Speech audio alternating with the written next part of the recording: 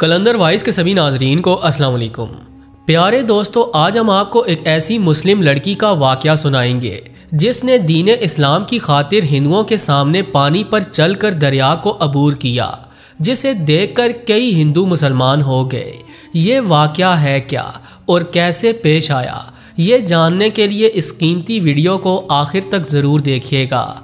Video को like और channel को सब्सक्राइब करना हर गिज़ न भूलें।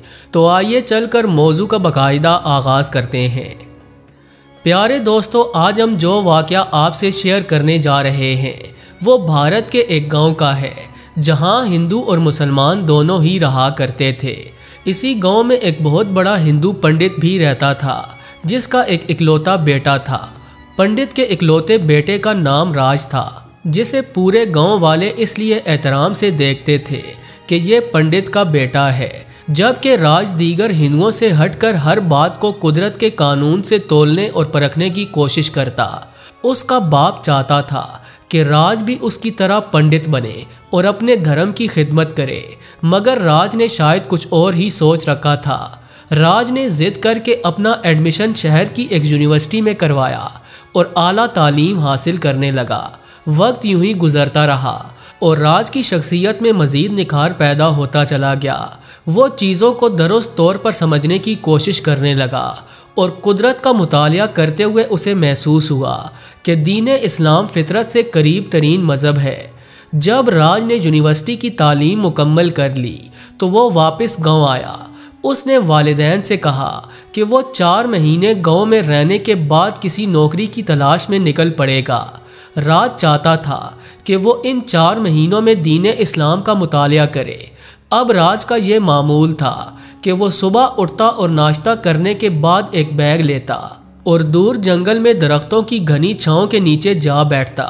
बैग में वो दीन इस्लाम की किताबें साथ लाता और उनका मुताल करता। एक बार राज की मुलाकात गाँव की एक मुस्लिम लड़की से हुई, जो रोज़ाना सुबह के वक्त जंगल जाती थी। और कुछ देर बाद लौट कर आती थी। राज भी मुतालिया करते हुए उसे आते जाते देखता। एक बार राज ने उस लड़की को बुलाकर सवाल किया कि वो हर रोज़ जंगल में क्यों जाती है, जिस पर उस लड़की ने बताया कि मैं जंगल के इंतहाई घने हिस्से में रहने वाले एक बुज़ुर्ग के पास जाती हूँ और उन्हें दूध और खाना पेश करती हूँ। वो बुज़ुर्ग बहुत बड़े आलम दीन और वलीउल्लाह है। और हर वक्त रब की इबादत में मशगूल रहते हैं और अपने मुरीदों के लिए खसूसी दुआ करते हैं। उनकी दुआओं से कई लोगों की मुरादें पूरी हुई हैं। प्यारे दोस्तों, राज ने जब ये सुना तो वो बहुत हैरान हुआ। उसे तजस्स हुआ कि उन बुज़ुर्ग से मिलकर उन्हें टेस्ट किया जाए कि आया इनके पास कोई रूहानी ताकत है या नहीं। अगली सुबह राज उस मुसलमान लड़की से पहले ही जंगल में पहुंचकर छुप गया। जब लड़की जंगल में जाने लगी तो राज भी चुपके से उसके पीछे हो लिया, ताकि बुज़ुर्ग तक पहुँचने का रास्ता मालूम कर सके।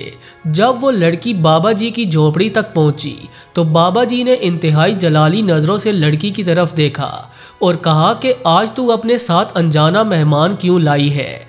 जिस पर वो मुसलमान लड़की कहने लगी बाबा जी मैं तो अकेली आई हूँ, मेरे साथ तो कोई भी नहीं आया। यह सुनकर बुज़ुर्ग ने फरमाया तू वो नहीं देख सकती जो मैं देख सकता हूँ। मेरी बात याद रख। अगर कोई मुश्किल दरपेश हो तो अल्लाह का नाम लेकर कूद जाना। फिर चाहे दरिया अबूर करना हो या आग में कूदना पड़े। बुज़ुर्ग की बात सुनकर लड़की काफ़ी हैरान हुई, मगर झट से सर हिलाकर कहने लगी, जी बाबा जी, ठीक है। ये ले आपका नजराना। अब मैं चलती हूँ। राज ये मंजर देखकर हैरान रह गया। क्योंकि अनजाना मेहमान कोई और नहीं, बल्कि वो खुद था। लड़की के जाने के बाद राज बुज़ुर्ग की खिदमत में हाजिर होकर कहने लगा कि आपको कैसे मालूम हुआ कि मैं उस लड़की के पीछे पीछे आ रहा था, जिस पर बुज़ुर्ग ने उसे बताया कि जो अल्लाह का ज़िक्र करता है, अल्लाह उसकी आँखें और दिल रोशन कर देता है। फिर वो सब कुछ देख सकते हैं, जो दूसरों को नज़र नहीं आता। बुज़ुर्ग की सोबत में बैठकर राज को बहुत सुकून मिला और अब वो मामूल के मुताबिक बुज़ुर्ग से मिलने आया करता। रफ्ता रफ्ता उसका दिल इस्लाम की रोशनी से मुनवर हो गया और उसने इस्लाम कबूल करने का फैसला कर लिया। प्यारे दोस्तों, दूसरी जानब राज ने एक दिन मुसलमान लड़की से मिलकर सब किस्सा कह सुनाया और उससे कहा कि मैं इस्लाम कबूल करके तुमसे शादी करना चाहता हूँ, इसलिए मैं अपने घर वालों को तुम्हारे घर भेजूँगा। ताकि तुम्हारी इज़्ज़त पर कोई हरफ ना आए। लड़की ने भी रजामंदी ज़ाहिर कर दी। लेकिन जब राज ने घर वालों से बात की तो उसके वालदेन शदीद गुस्से में आ गए। राज के पंडित बाप ने इनकार कर दिया, मगर राज मुसलसल जिद करता रहा। राज का बाप तरकीबें सोचने लगा कि कैसे अपने बेटे को मुस्लिम लड़की से दूर करे। आखिर उसके जहन में एक शैतानी मंसूबा आया। उसने राज को बुलाकर कहा कि बेटा तुम अपनी महबूबा से कहो कि कल फलां टाइम पर गाँव की पंचायत में हाजिर हो। मेरी एक शर्त है, अगर वो लड़की शर्त पूरी कर दे तो मैं तुम्हारी शादी उस लड़की से करवा दूँगा। राज ने कहा, ठीक है। अगले दिन मुकर्रा वक्त पर पूरा गाँव, राज के बाप के कहने पर जमा हो चुका था और मुस्लिम लड़की भी सबके सामने खड़ी थी। राज के बाप ने बड़ी ही चालाकी से लंबी तकरीर की और कहने लगा कि ये लड़की जो मुसलमान है, कहती है कि इसका दीन सच्चा है। इसने मेरे बेटे को वरगला कर अपने दीन में शामिल कर लिया है। अगर ये और इसका दीन सच्चा है तो पूरे गाँव के सामने उसे दरिया पानी पर चलकर अबूर करना होगा। अगर उसने ऐसा किया तो मैं अपने बेटे की शादी उस लड़की से करवा दूँगा। ये सुनकर वो मुसलमान लड़की काफ़ी परेशान हुई। लेकिन जब गाँव के हिंदुओं ने इसरार किया और बात दीन इस्लाम पर आ गई तो उस लड़की को बुज़ुर्ग की बात याद आने लगी कि मुश्किल से मुश्किल हालात हों, तब भी घबराना नहीं और अल्लाह के भरोसे कूद पड़ना। चुनाचे उस लड़की ने ऐसा ही किया और अल्लाह का नाम लेकर गाँव से बाहर बहने वाले दरिया में कदम रख दिया। उसका तवक्ल और ईमान इस कदर मज़बूत था कि ये मुसलमान लड़की पूरे गाँव के सामने दरिया पर चलने लगी और देखते ही देखते पानी पर चलकर दरिया को अबूर कर लिया। ये देखना था कि राज सजदे में गिर पड़ा और बावाज बुलंद पुकारने लगा, ए अल्लाह, तू ही सच्चा है, तू ही मेरा मालिक है, मैं इस्लाम कबूल करता हूँ। ए मेरे रब, मेरे वालदेन और गाँव के दीगर अफराद को हिदायत बख्श। जब राज सजदे से उठा तो दीगर कई हिंदू भी कलमा पढ़कर मुसलमान हो चुके थे।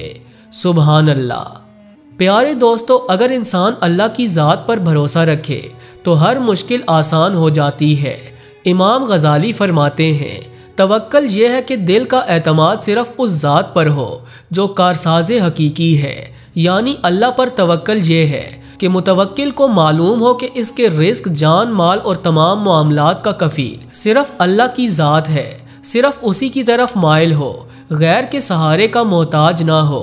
अल्लामा इब्ने रजब फरमाते हैं तवक्ल नाम है दुनिया और आखरत की मसलहतों के हसूल और मजरतों के दिफा में अल्लाह अज्जल पर सिद के अतमाद का।